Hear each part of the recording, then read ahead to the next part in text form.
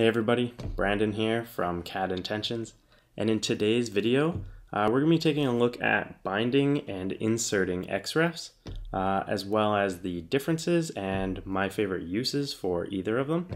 Uh, I hope you guys enjoy, and we're going to try and keep this one under two minutes. So let's get started.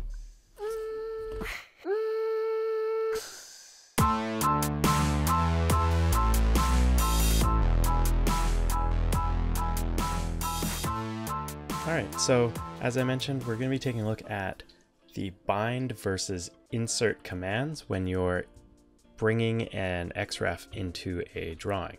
You can see in our drawing example here, we have an XREF on the left. You can see this floor plan is a reference. And on the right, we've got some line work in our drawing, making up another floor of, say, the same building. Uh, this could come up in the case that I've got where you are uh, combining multiple XREFs into a drawing to say send to a client or just consolidating them for archival or uh, submission purposes. Uh, there's a bunch of reasons why you might want to bind or insert an XREF. Uh, and in today's video, we're just going to go over the differences and two of the main uh, uses or features, I guess, uh, that differentiate them. So first we're going to take a look at the bind option.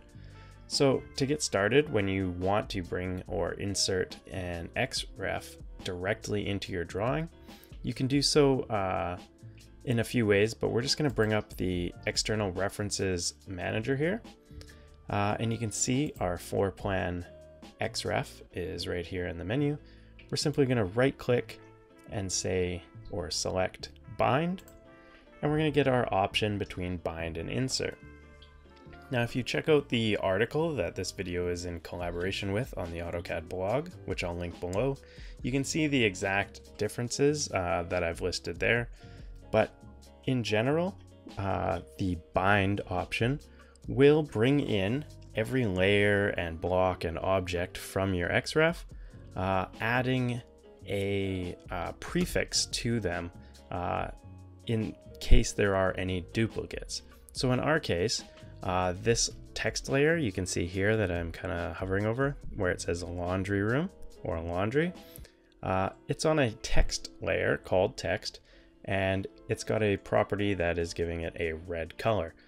Well, in our drawing, uh, this text over here is on a text layer as well, and it's also called text, but in our current drawing, the color property is white.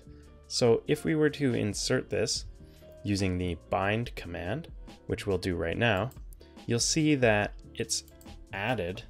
So I'll just uh, burst this so we can see each object.